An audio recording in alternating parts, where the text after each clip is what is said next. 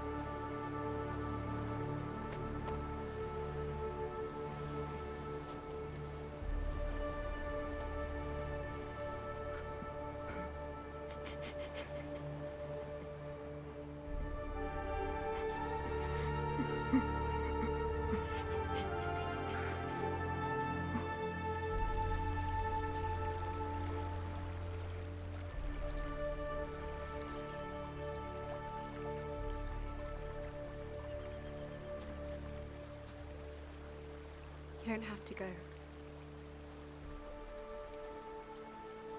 I don't belong here. For what it's worth, I'm glad that it begins again with you.